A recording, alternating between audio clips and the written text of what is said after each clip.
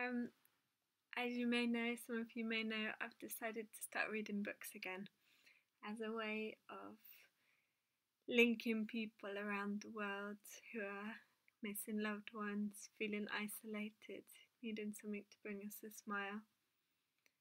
Um, so I've decided to read children's books and adults' books, and this is an adult's book mainly, but I'm sure some children will enjoy the stories and it's full of all these different little small stories that hopefully can bring uh, 101 stories to open the heart and rekindle the spirit. They're just short stories that can hopefully cheer people up. Um, I've just chosen this one. It's called 200 Hug. Are you sitting comfortably? Okay, then I'll begin.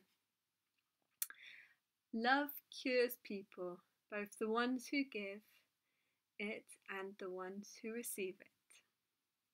Dr. Karl Menninger. My father's skin was jaundiced as he lay hooked up to monitors and intravenous tubes in the intensive care unit in the hospital. Normally a well built man, he had lost more than 30 pounds. My father's illness had been diagnosed as cancer of the pancreas, one of the most malignant forms of the disease. The doctors were doing what they could, but told us he only had three to six months to live. Cancer of the pancreas does not lend itself to radiation therapy or chemotherapy, so they could offer little hope.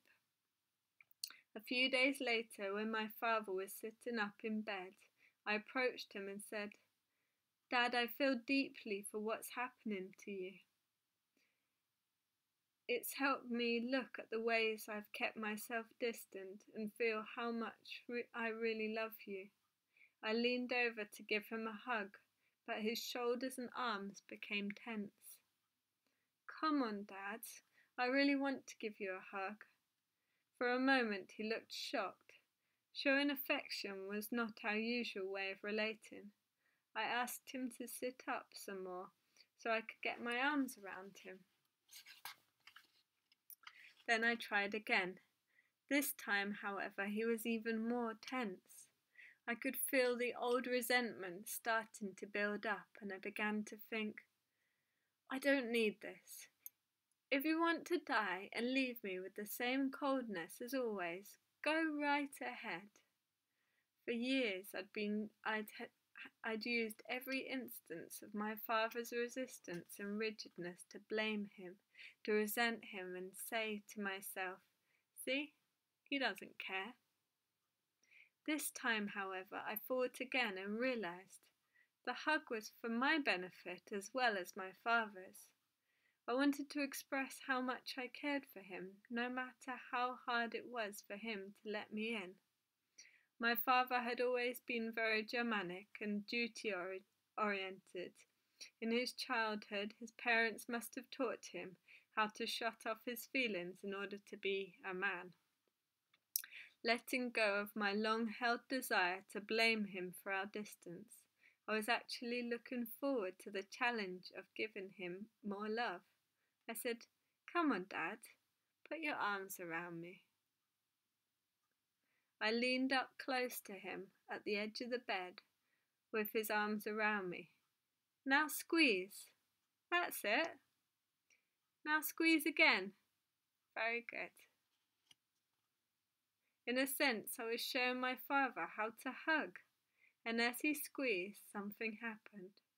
For an instant, a feeling of I love you bubbled through. For years, our greeting had been a cold and formal handshake that said, Hello, how are you?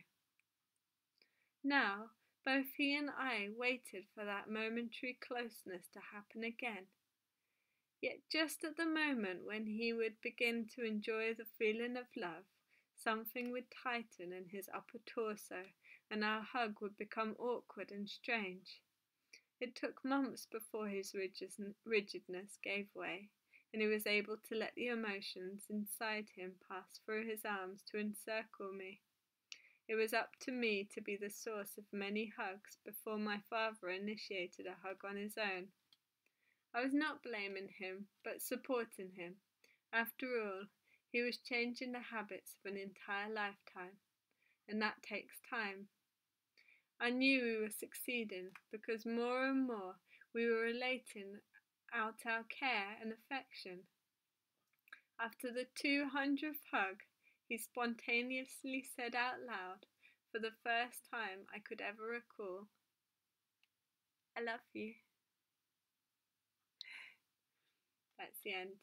There's a story written by Harold H. Bloomfield.